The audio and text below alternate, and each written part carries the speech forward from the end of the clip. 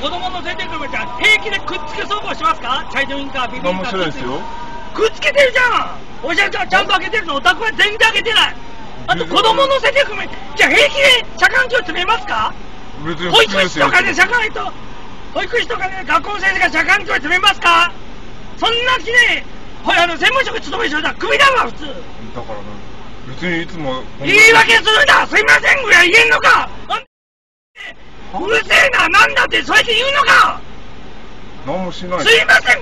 してるじゃん。俺ちゃんとここで見てたわ。バックミラーで。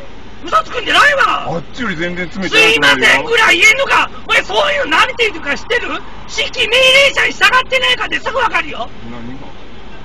お前広島ドバイ市なんかでいくつ結婚してる人が22、3で結婚してんだよ。25で父親だよ。お宅はねあんたと同じぐらいかもしれんけど車間距離詰めるってことはどこまであったわけそんな詰めてない。詰めてる？嫌にすんじゃねえよだけじゃあどんだけ話はいいだ。言え言えばいいじゃん警察だって悪いことしてる人やったらおるわ。は